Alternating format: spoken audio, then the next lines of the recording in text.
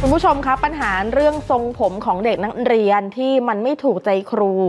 ปรากฏว่ามันมีข่าวเกิดขึ้นอีกแล้ว เพราะว่าครูเนี่ยแอบไปครับตัด ไม่ได้แอบหรอกครูอะตัดทรงผมใหม่เออแบบที่ครูครีเอทเอง แล้วไปตัดหน้าเสาธงก็ท่ามกลางเด็กคนอื่นที่เข้าแถวอยู่แต่เรื่องทรงผมเนี่ยกระทรวงศึกษาเขาบอกเขาไม่ได้ห้ามนะนี่ ใช่เขาไม่ได้ห้ามมาตั้งนานแล้วนะคะเออแต่ว่าตั้งแต่เปิดเทอมมามีข่าวแบบนี้เกิดขึ้นเรื่อยๆล่าสุดเกิดขึ้นกับโรงเรียนที่จังหวัดนครราชสีมา เพื่อนน้องที่โดนตัดผมเขาบันทึกภาพบันทึกคลิปเอาไว้ได้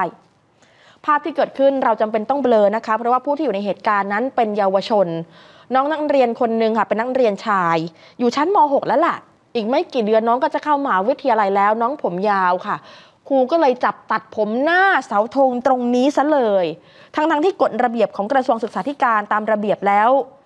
เขาไม่ได้มีข้อบังคับแล้วนะคะ ว่าเด็กจะต้องตัดผมสั้นแบบนั้นแบบนี้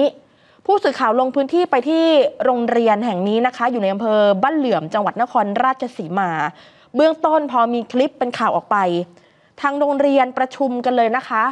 ถึงเรื่องที่เกิดขึ้น เชิญเด็กคนที่โดนครูตัดผมเนี่ยเข้ามาสอบถามข้อเท็จจริงด้วย น้องธรรมเชษนักเรียนชั้นม .6 บอกว่า เอาจริงๆนะน้องบอกน้องไม่ได้โกรธ น้องเข้าใจครู เพราะว่าครูมีการเตือนมาก่อนแล้วรอบหนึ่งแต่ว่าตอนนั้นไม่มีเวลาไปตัด เพราะว่าเลิกเรียนช้าก็ต้องไปทำการบ้านทำงานต่อ ไม่มีเวลาไปร้านตัดผม วันต่อมาครูก็เลยจับตัดให้ ส่วนตัวเข้าใจในความหวังดีของครู ไม่ได้ติดใจอะไร แล้วก็ยอมรับว่าก่อนหน้านี้ครูเตือนมาแล้ว แต่เรายังไม่ได้มีโอกาสไปตัดผม ฟังเสียงจากเด็กนักเรียนก่อนค่ะ เหตุเหตุการณ์เกิดขึ้นยังไงครับ ก็ตรวจ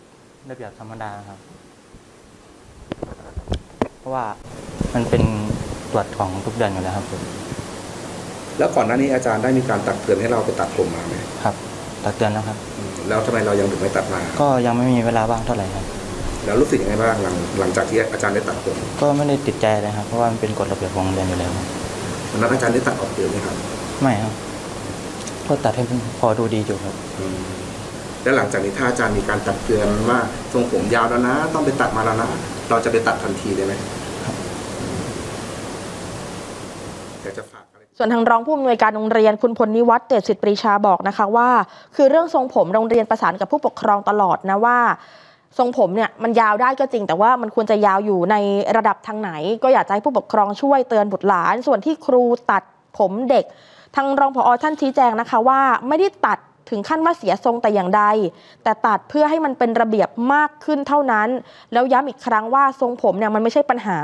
มันยาวได้ แต่ว่าถ้าดูแล้วมันยาวเกินไปโรงเรียนก็จะเตือนฟังจากทางรองผู้อำนวยการค่ะ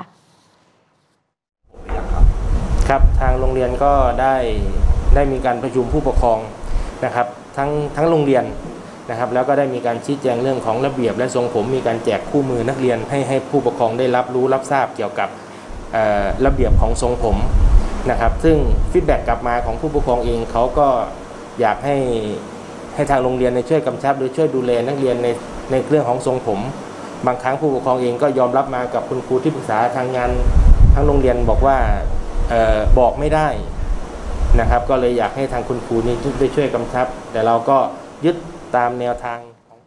เบื้องต้นทางโรงเรียนเรียกทั้งเด็กแล้วก็ครูคนที่ตัดผมเนี่ยมาพูดคุยทำความครับเข้าใจกันแล้วนะคะอืมตอนนี้ตกลงกันได้แล้ว น้องบอกว่าเดี๋ยวก็จะหาเวลาไปตัดผมเข้าใจครับในความหวังดีของครูอยู่ แต่ว่าวิธีการทางฝั่งรองผอท่านก็เตือนไปว่า คืออาจจะต้องพูดคุยกันให้มากกว่านี้หน่อย